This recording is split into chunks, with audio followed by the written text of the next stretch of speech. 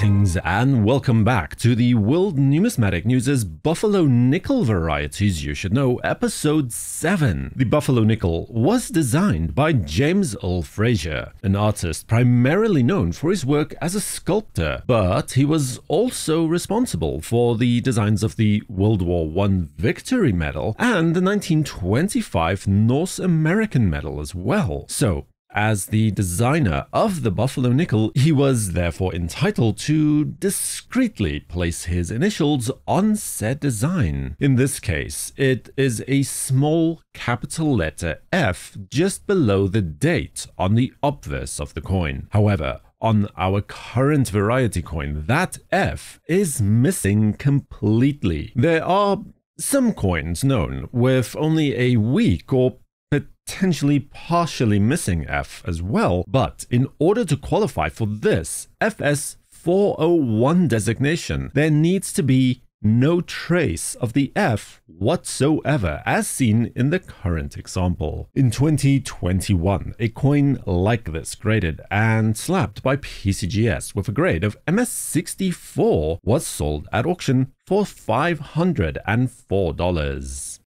From there, we jump ahead nearly a decade, well, more than a decade really, to 1927, where the Denver Mint delivers a solid repunched mint mark variety for us to find. Technically, although a triple punched mint mark, as this is the 1927 D over D over D coin. The exact sequence is not certain, but it does seem that the initial D was placed far too low, or, stated otherwisely, nearer to the rim. The second impression was then placed almost touching the letter E of 5, and then finally the mint mark was positioned in the well, Goldilocks position where we see it now. The remnants of the first two punchings still being seen towards the top and the bottom of the D. In 2019, there was a coin this time graded VF20 that appeared at auction that was sold for $144.